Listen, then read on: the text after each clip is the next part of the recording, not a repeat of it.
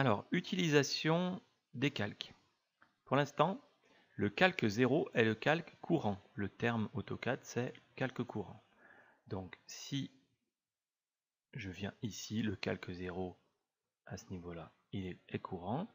Si je dessine une ligne, une polyligne, un cercle, peu importe, je clique dans l'espace objet, je dessine sur le calque 0. Donc mon objet a l'apparence du calque 0, c'est-à-dire il est noir, en ligne continue, épaisseur par défaut. Maintenant, si je déroule et que je viens choisir fort par exemple, je rends courant le calque fort. Et maintenant, si je dessine un cercle par exemple, je dessine le cercle sur le calque fort. Le fort étant rouge en continu et épaisseur 0,53. Alors si vous voulez avoir un aperçu des épaisseurs, vous allez pouvoir cliquer sur ce bouton-là, dans les aides au dessin, les trois petites lignes, et on a un une aperçu, simplement aperçu des épaisseurs. Pour voir l'épaisseur réelle, il va falloir imprimer ou créer un PDF. Et je continue.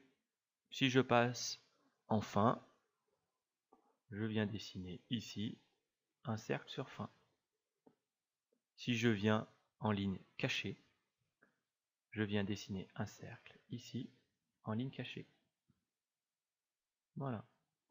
Et si je viens rendre courant le calque axe, je viens dessiner ici des éléments sur le calque axe. Comme ça, je peux organiser mon dessin. C'est-à-dire que à tout moment, je vais pouvoir désactiver ou geler un des calques. Alors, différence. Si euh, je désactive un calque, par exemple le calque fort et le calque fin, je ne les vois plus. Je peux recocher sur la petite ampoule ici, recocher, recliquer sur la petite ampoule, je les vois réapparaître.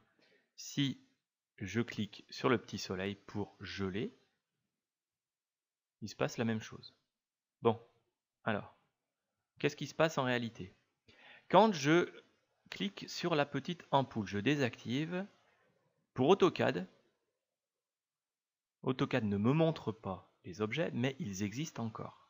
Si je fais par exemple un CTRL A, ce qui veut dire tout sélectionner, AutoCAD les sélectionne.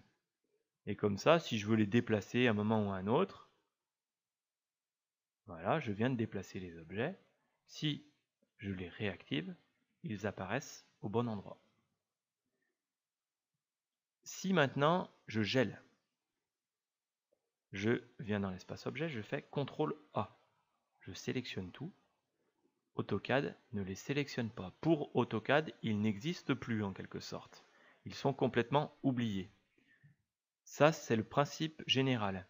C'est-à-dire que si je redéplace ces objets, voilà, je vais les déplacer, on reparlera de la commande déplacer par la suite, et que maintenant je libère, les objets n'ont pas bougé de place.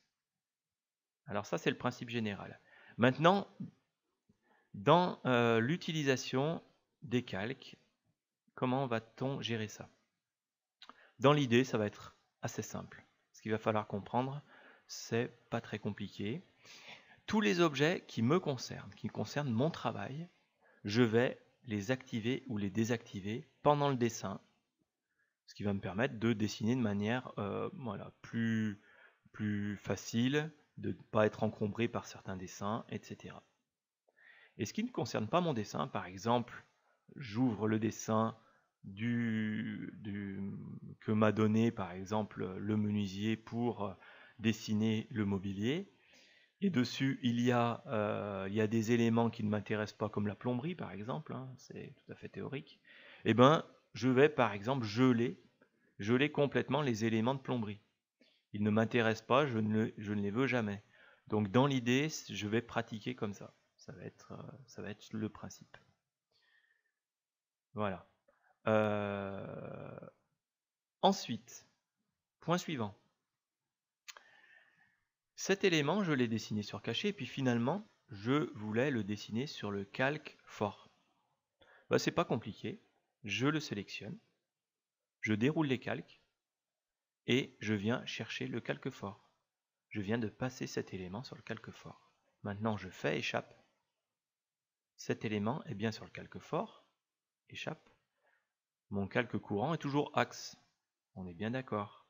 Si cet élément, je le veux sur le calque moyen, je le sélectionne, je déroule les calques et je le passe sur le calque moyen. Et je fais échappe, il est bien sur le calque moyen. Je n'ai pas passé le calque moyen en calque courant, j'ai simplement sélectionné un objet, déroulé les calques pour le passer sur le calque moyen. Donc il faut bien comprendre la différence. Hein.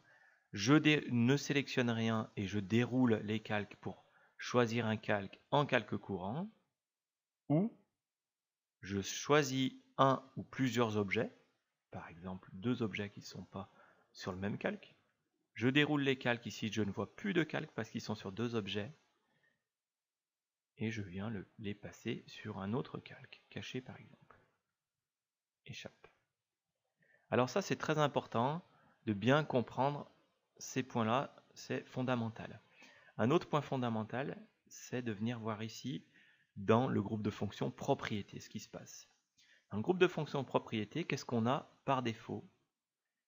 On a ici du calque ici du calque, ici du calque. C'est quoi? Couleur, type de ligne, euh, épaisseur de ligne, pardon, et type de ligne. Tout ça est en du calque. Ça veut dire que, par défaut dans AutoCAD, quand je dessine, je dessine en du calque. Mon calque, c'est quoi? C'est le calque que je rends courant. Par exemple, moyen, je passe ici en du calque pour moyen, c'est-à-dire que tout ce que je dessine aura les propriétés du calque du calque sur lequel il est positionné. Et ça, en principe, on n'y touche pas. Donc, on mémorise une chose, on ne touche pas du tout à ça. Voilà. Ce sera vraiment exceptionnel. Donc, dans le principe, quand on débute AutoCAD, on, se dit une chose, à ce niveau-là, on ne vient pas changer, on ne vient pas forcer, on appelle ça forcer, par exemple la couleur. Si je venais forcer la couleur, eh bien, tout ce que je dessinerai sur n'importe quel calque sera dans cette couleur forcée. Si je passe en fin, j'aurai la même couleur. Et je ne verrai pas du tout la différence. Je me dirai que tous ces calques tous ces objets sont sur le même calque. Donc, je vais supprimer ces objets et ici je vais revenir en du calque. Voilà pour l'utilisation des calques dans AutoCAD.